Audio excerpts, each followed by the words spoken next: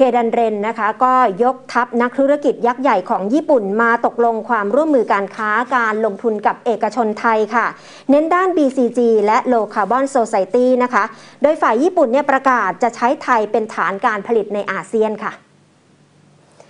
นายเกรียงไกรเทียนุกุลประธานสภาอุตสาหกรรมแห่งประเทศไทย และประธานคณะกรรมการร่วมภาคเอกชน 3 สถาบัน หรือกกรบอกว่า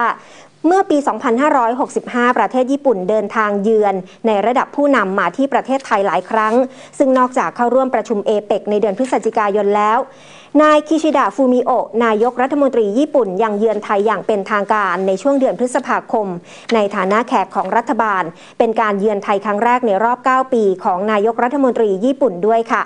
ผลหารือระหว่างผู้นำทั้งสองฝ่ายครั้งนั้นนะคะ บรรลุผลในการเสริมสร้าง ความเป็นหุ้นส่วนทางยุทธศาสตร์ ระหว่างไทยกับญี่ปุ่น ยกระดับสถานะความสัมพันธ์ จากหุ้นส่วนทางยุทธศาสตร์ เป็นหุ้นส่วนทางยุทธศาสตร์อย่างรอบด้านทำให้เกิดการริเริ่ม และความร่วมมือเพิ่มขึ้นอีกหลายด้าน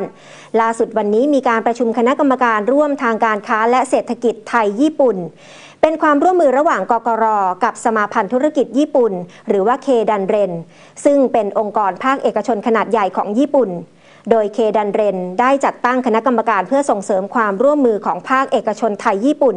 มีบริษัทขนาดใหญ่ของญี่ปุ่นเข้าร่วมเป็นจำนวนมาก